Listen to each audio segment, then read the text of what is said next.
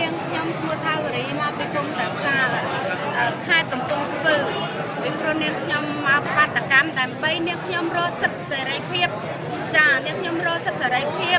ដើម្បីចង់បានសេរីភាពរបស់នាងខ្ញុំនាងខ្ញុំគេលួចសារស្នោនាងខ្ញុំមកហេតុតែម៉េចបានគេធ្វើបាបនាងខ្ញុំគេយកដៃកំពុងទីពាយខ្នងគ្នាខ្ញុំឡើងដល់តែជាប់ឡើងដល់តែព្រោះចាំខ្នងយាយនៅឯណាពាយនៅទីលានធិបតីយាយពេលណាអឺ ពេលព្រឹកប្រហែលជាម៉ោង9ជាងចា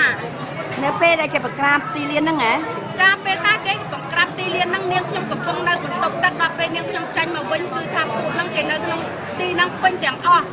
គេឲ្យនាងខ្ញុំចាញ់ប៉ុន្តែនាងខ្ញុំរត់មកយកសក្កដោនាងខ្ញុំគេវាយនាងខ្ញុំនឹងដំបងកំពុងទីតែម្ដង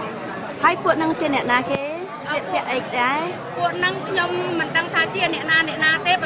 ុន្តែមានគ្នា ច្រើនប៉ុន្តែខ្ញុំចំណាំខោអាវគេស្លៀកពាក់ពណ៌ស្វាយហើយឥឡូវចង់បានអីទៀតខ្ញុំមកនេះខ្ញុំមកចូលរួមដើម្បីសពដែលគេសម្លាប់តែពួកអឺអពួករោងចក្រដែលគេសម្លាប់ដែលគេមកធ្វើបាតកម្មហ្នឹងគេសម្លាប់គ្នាគាត់ខ្ញុំមកចូលរួមទី1ទី2ខ្ញុំនឹងមករកសិទ្ធិសេរីភាពរបស់នាងខ្ញុំដែលគេធ្វើបាបនាងខ្ញុំជំទាវយុត្តិធម៌